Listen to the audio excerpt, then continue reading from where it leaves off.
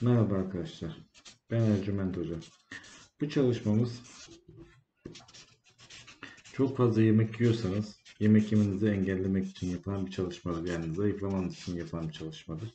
Buraya adınızı, doğum tarihinizi ve anne isminizi yazın. Ve daha sonra bu kağıdı evinizde bir yere saklayın.